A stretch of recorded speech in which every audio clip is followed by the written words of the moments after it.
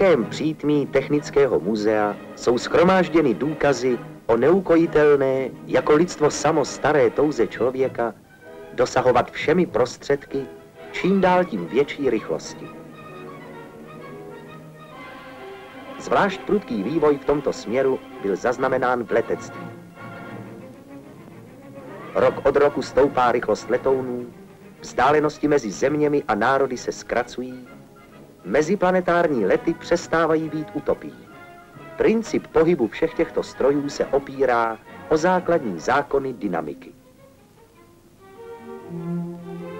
Dynamika vysvětluje souvislost pohybu s jeho vnějšími příčinami.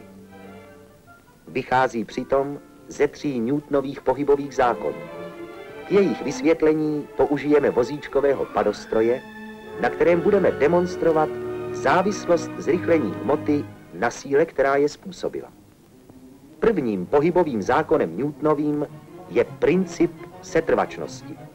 Všechna tělesa se snaží setrvávat v klidu nebo v rovnoměrném přímočarém pohybu, dokud nejsou nucena vnějšími silami tento svůj stav změnit. Vozíček padostroje ponechán sám o sobě, setrvává v klidu. Působí-li na těleso síla, v našem případě váha závaží, vzniká pohyb rovnoměrně zrychlený. Kivadlovým chronometrem měříme čas potřebný k proběhnutí určité dráhy.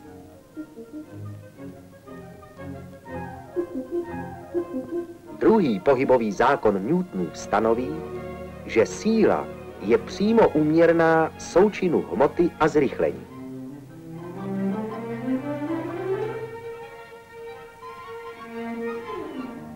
Dráha se rovná polovičnímu součinu zrychlení se čtvercem času. Zrychlení se tedy rovná dvojnásobku dráhy dělenému čtvercem času.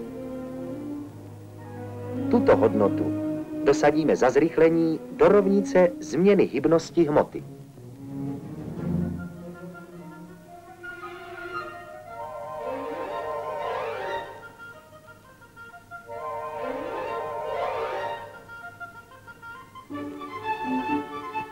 Padostroji demonstrujeme pak nepřímou úměrnost hmoty a ujeté dráhy.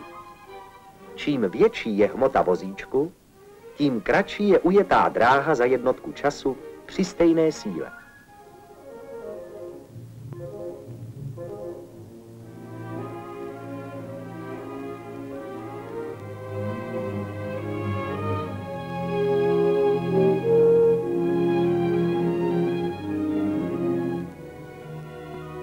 Třetí pohybový zákon Newtonův je princip akce a reakce.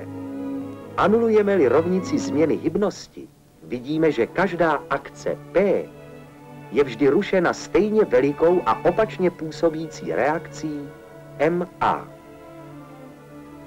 Tento zákon demonstrujeme vymrštěním závaží pružinou z vozíku, který je přitom posunut stejnou silou opačným směrem.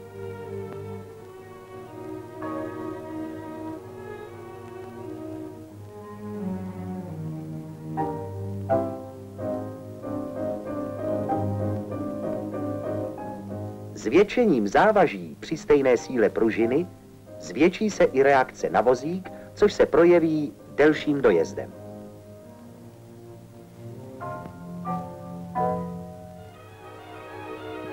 Základem každého pohybu je odraz vyjádřený zákonem o principu akce a reakce.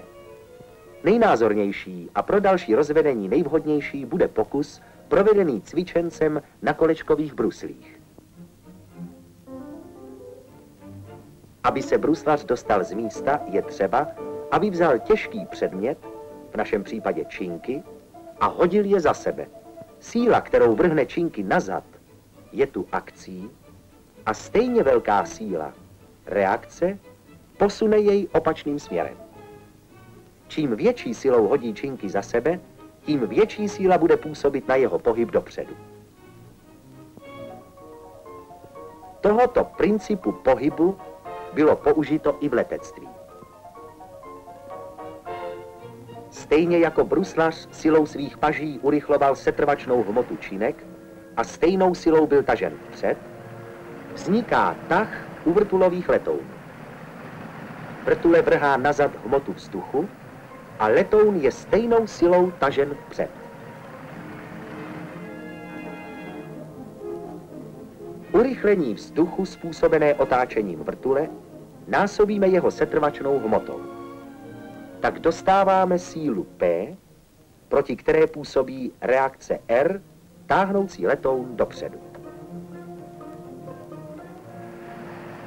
Zvýšením otáček se zvyšuje urychlení, které vrtule uděluje hmotě vzduchu a tím se zvětšuje tah působící na letoun. Upoutáme-li letoun za podvozek a vložíme-li mezi lana dynamometr, můžeme tuto sílu změřit.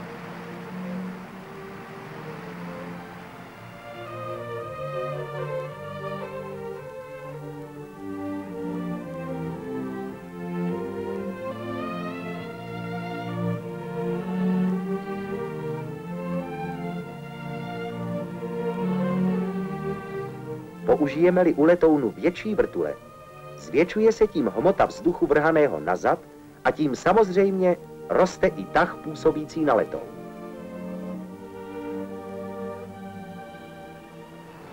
Zvýšením tahu se zvětšuje i rychlost letounu, stoupá však také potřebný výkon motoru.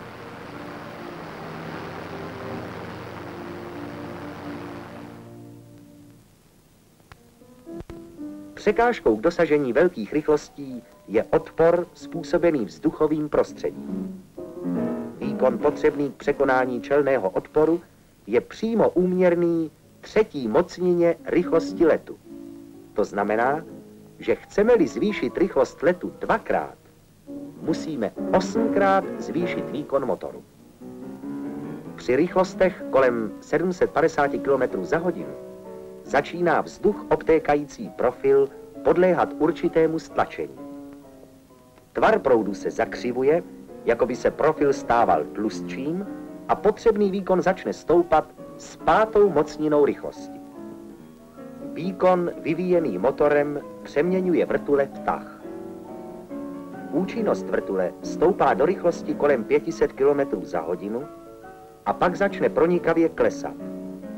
To má ovšem vliv na užitečný výkon pohonné skupiny, pístový motor plus vrtule, který je značně nižší než efektivní výkon samého motoru.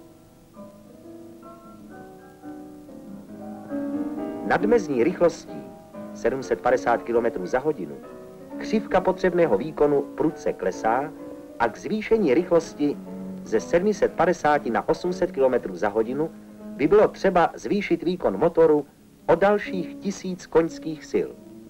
Poněvadž pístový motor nemůže splnit tyto požadavky, vznikl problém skonstruovat motor nového typu, pracující na jiném principu. Český vynálezce inženýr Gustav Finger navrhoval v roce 1909 vložení leteckého motoru do zvláštní bízy, která se v přední části rozšiřuje a v zadní opět zužuje. Účinnost vrtule i při vyšších otáčkách je vyšší, poněvadž vlivem rozšíření je tu vzduch stlačován. Dýzou se však zvýšilo nejen urychlení vzduchu, ale i váha motoru. Vrtule však vzduch málo stlačila. Byla proto nahrazena kompresorem, což ovšem znamenalo další zvýšení nejen rychlosti, ale i váhy. Vstřikováním paliva do zvlášť upravené spalovací komory zvýšila se rychlost vytékajících plynů. K vytvoření většího tlakového spádu byl zvětšen kompresor i rychlost jeho oběžného kola. Těžký pístový motor nahradila konečně mnohem lehčí turbína, k jejímuž pohonu bylo využito vysoké teploty unikajících plynů. Tak v hrubých rysech vypadal vývoj od pístového motoru s vrtulí k motoru turbokompresorovému.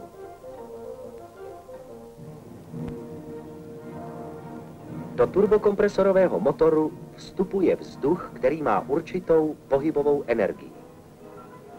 Kompresor zvětšuje tuto pohybovou energii proudu a mění ji na energii tlakovou.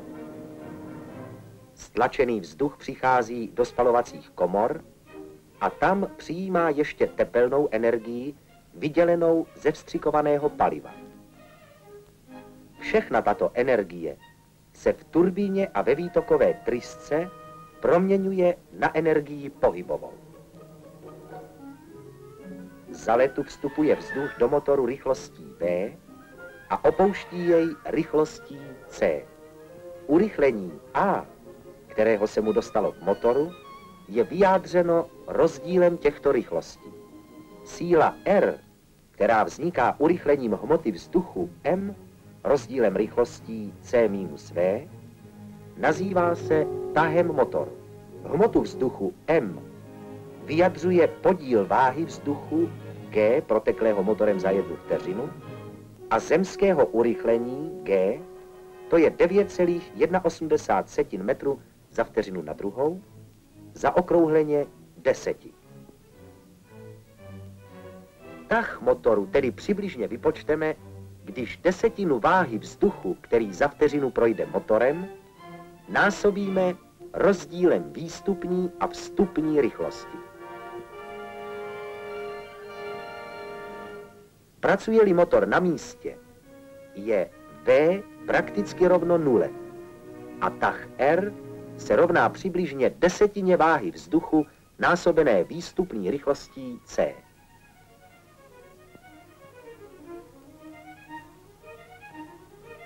Vznik tahu je možno demonstrovat na modelu proudového letounu. Pomocí elektrického proudu vystřelíme z něho nazad závaží nahrazující hmotu proudu plynu.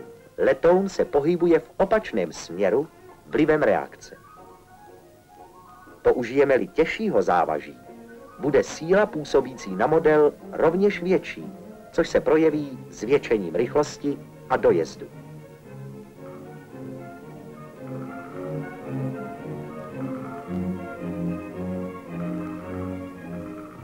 Turbokompresorovými motory protéká 40 až 60 kg vzduchu za vteřinu. Přitom plyny ve výtokové trysce mají rychlost 500 až 600 metrů za vteřinu. Motor pracující na místě může tedy vyvinout tah 2000 až 3600 kg.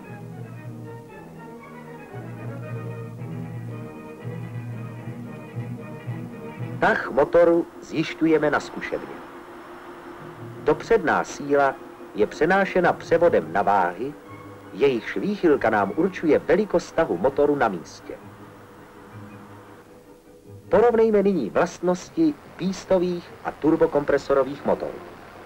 Pracuje-li pístový motor na místě, urychluje vrtule hmotu 400 až 500 kg vzduchu, to znamená desetkrát větší než turbokompresorový motor. Uděluje mu zrychlení 70 až 90 metrů za vteřinu. Tah vrtulových motorů, pracují-li na místě, je proto několikanásobně vyšší než tah motorů turbokompresorových. Tato skutečnost se příznivě projevuje u vrtulových letounů při pojíždění a hlavně při startu.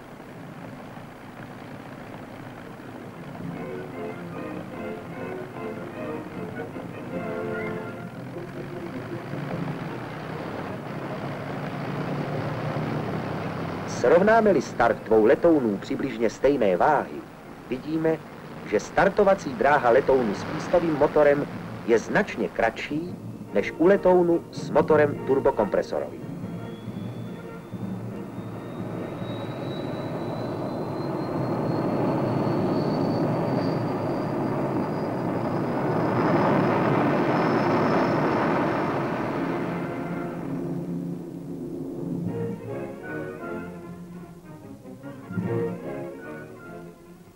Tato rozdílnost délky startu je způsobena jednak menším tahem turbokompresorových motorů při malých rychlostech, jednak a to především v rozdílném profilu křídel obou letounů. Letouny s vrtulí jsou stavěny pro nižší rychlosti než letouny proudové. Těmto rychlostem jsou také přizpůsobeny profily křídel. Rychlostní profil klade sice menší odpor vzduchu, je však třeba velké rychlosti k vytvoření potřebného vztlaku. Tlustý profil klade sice větší odpor, vytvoří však potřebný vztlak již při malých rychlostech. Výhodou turbokompresorového motoru je i ta skutečnost, že se stoupající rychlostí letu klesá tah daleko pomaleji než u motoru pístového. Uvedeme si příklad.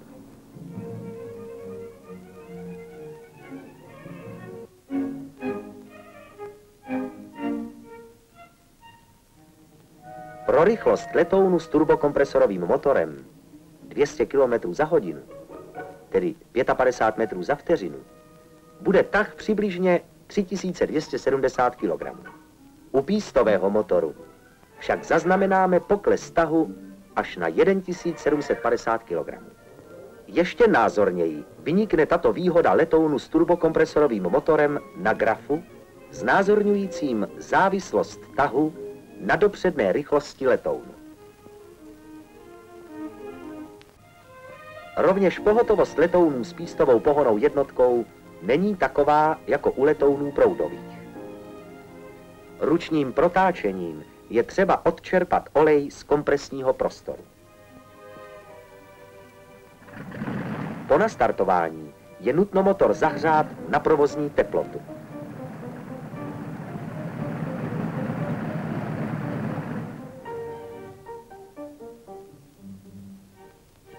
Rozdíl se projevuje zvláště v zimě, kdy je u vrtulových letounů nutno ohřívat motor před spouštěním zahřívacím vozíkem, čímž se celá pohotovost značně prodlužuje.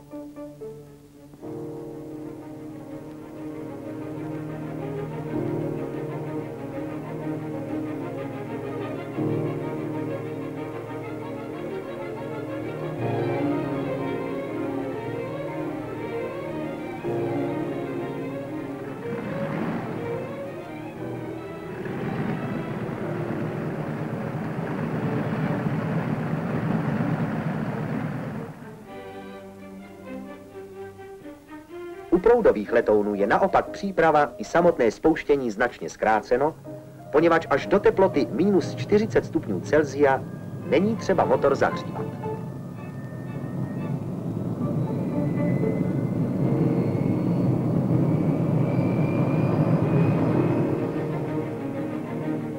Nejvýraznější srovnání proudového a pístového motoru je podle rychlosti.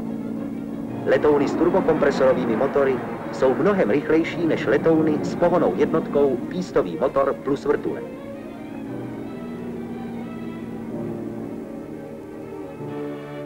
Pístový motor není schopen plnit zvýšené požadavky letecké techniky pro vysoké rychlosti letu nad 780 km za hodinu. V tomto směru patří budoucnost proudovým letounům. Také srovnání po stránce výkonu a váhy je rozhodujícím faktorem u leteckých motorů. Pístové motory vážící přes 1000 kg mají výkon necelých 2,5 tisíce koňských sil.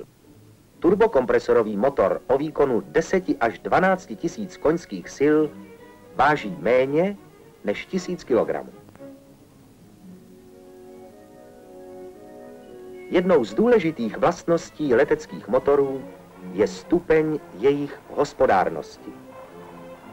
Hospodárnost můžeme vyjádřit měrnou spotřebou buď na 1 kg tahu, nebo na výkon jedné koňské síly.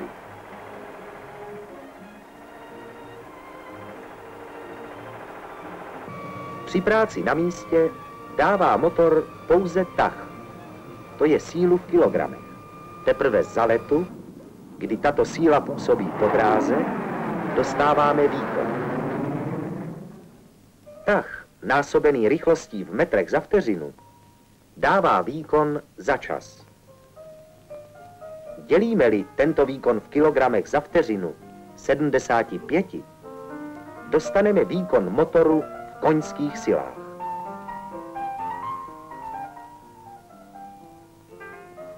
Podělíme-li hodinovou spotřebu tahem v kilogramech, dostaneme spotřebu na 1 kg tahu.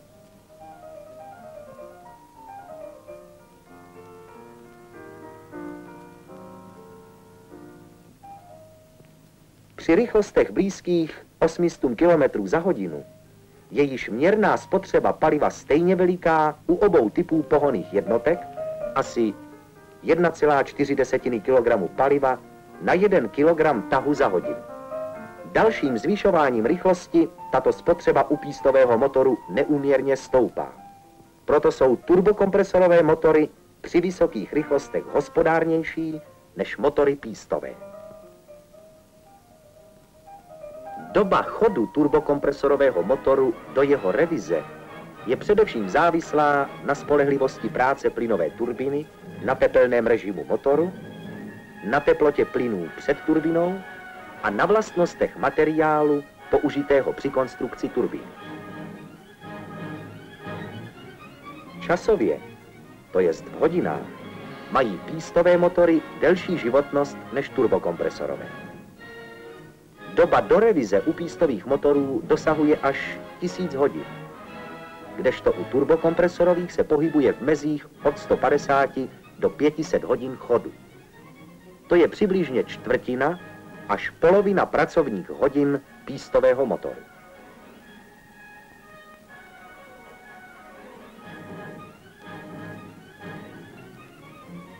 Pro názornost použijeme srovnání, kolikrát by oblétl země kouly letoun s pístovým a kolikrát s turbokompresorovým motorem za dobu danou počtem nalétaných hodin stanovených do revize.